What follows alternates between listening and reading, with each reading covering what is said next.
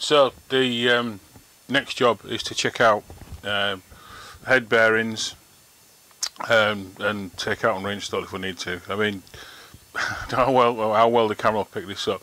They, this should just glide around. It's actually taking quite an effort to move it, so I think we're definitely going to have some square bearings in there. Um, and well, let's hope we don't find too many other problems in there. But I'm going to replace these with a, roller race bearings. So, um, let's get in and have a look, see what we've got.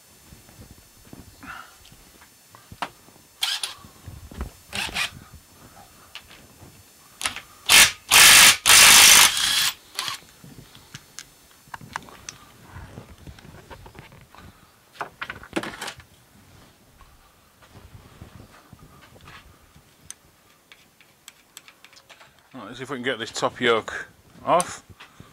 Yeah, it's coming away fairly easy. Let's use a magic mallet. If we can get in there with one. Yep, that's off. Good.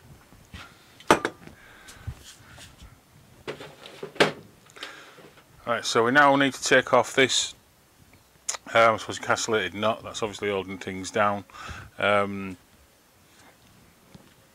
yeah, looks in fairly good condition, but obviously we can tell better when we get it off. So let's look, taking this off then.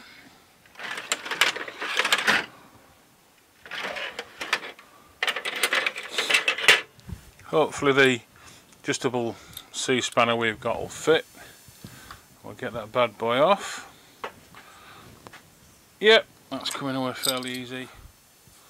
Wow, there's some dust coming out of there, so the bearing surface is going to be at least full of dust, if not rust.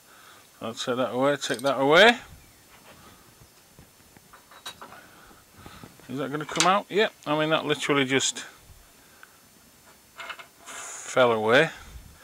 Now straight away, again if we can't see this I'll, I'll, I'll, I'll reshoot this part of the video as well. Let's see about this top cap.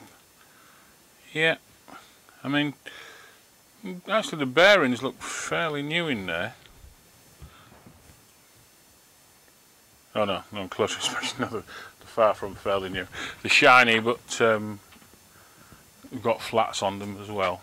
So let's just take those out. Good.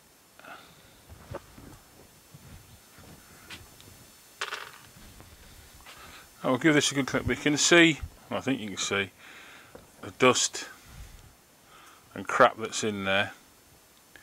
Again, I'm going to take all so we're going to take these, um, take these out. We're going to fit um, uh, roller races in there, but uh, show that on a on a second uh, second part of the video. The next part of the job is to uh, remove this bearing cup. Um, you see, it's it's pretty well rusted. It's it's pretty well knackered but we're replacing this with uh, uh, roller race top and bottom anyway. So we just need to remove this. There's no real um, sophistication to this. It's just a case of um, well whacking it out to be quite honest. So drift on there. What I will do is if you can imagine instead of just hitting it all the time in one place we're going to kind of work around maybe sort of triangle configuration just so we're not um, um, not making that cup uh, come out in one angle. We want it coming out as flat as it possibly will so it pre help prevent jamming.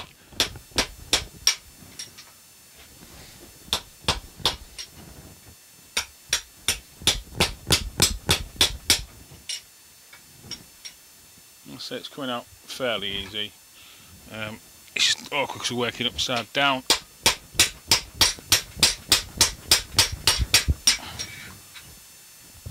that. Couple more hits should see us. There we go, that pops out.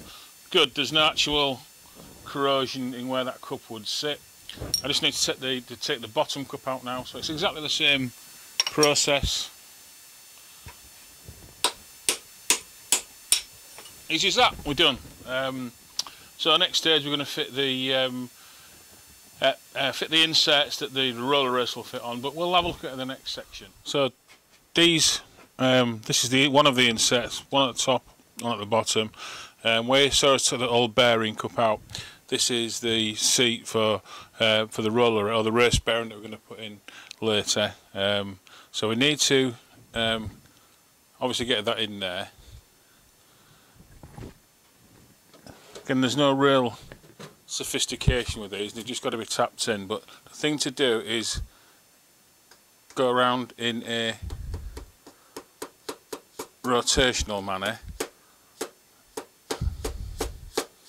Just a little bit at a time because we don't want the in to go in uneven. So it's a triangle configuration. Perhaps that bounce back mallet's not going to work so we'll go for an old school hammer.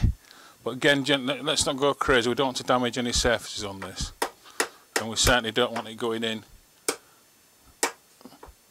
12, 3, 6, 9, 12, 3, 6, 9, 12, 3, 6, 9, 12, 3, 6, 9, 12, 3, 6, 9.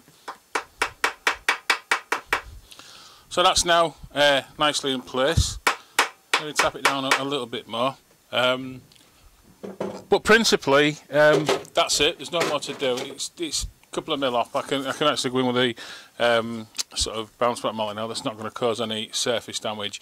It's the same to do on the underneath. Um, again, I'm not. It's the same principle, so I'm, I'm not going to make a video of it being fitted underneath. But it's as as simple as that. Okay. Then we'll look at putting the um, the bearings in, and then fitting everything back together. So um, catch you on that one, and bye for now. Okay. So next stage is uh, then to uh, just install the, the, the, bearings, the roller races. Um, put the seat in on the bottom part of the headstock. Again, the same principle as what you saw earlier when I was installing that. What I will say is, um, just as a, a case in point, you would normally pack these bearings uh, full of grease before installing them. That's top and bottom. I'm not going to because we, we're just treating this as a dry installation because then it's coming off and the um, the yokes, or for those like to call them uh, triple trees, but the yokes, the clamps, um, are then going to be either painted um, or powder coated. So um, again, just to reiterate, you would normally pack these with grease. So that would go in there, and then it seats in nicely. So we've pressed the, the lower uh, taper roller bearing onto the stem. Um, and it's, again, I suppose the next stage is fairly obvious really, but just pass up the, um, the stem uh, up through the head and it will pass through the, um, the inner side of the taper roller bearing. There is a there is a dust seal that then slips on there, new dust seal, obviously covers the bearing. and then we'll just pop this castellated nut um, back on there. Again, this is a dry build, don't forget, so this isn't kind of the final build.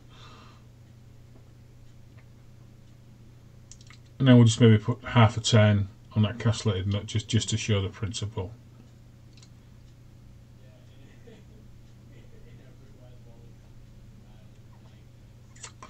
also on these as well there's there are these clips there's there's one of two there and they sit inside the groove in the in the castellated nut and when the when the cover then is, put on they act against the cover and it will stop that castellated nut from moving around because we don't necessarily tighten those up really tight we just tighten up enough to hold the bearing but allow the the, the steering to move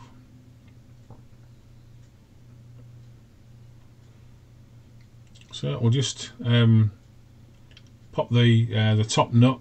You can imagine in that space there, that's where it would go through the top yoke. Um, so what we've done now, we've now got a 1975 uh, vintage enduro bike with modern taper roller bearings in the steering. So thanks for watching the video. Bye for now, and uh, why not follow the links and some, have a look at some of the other videos we're doing of the recommission of the DT400.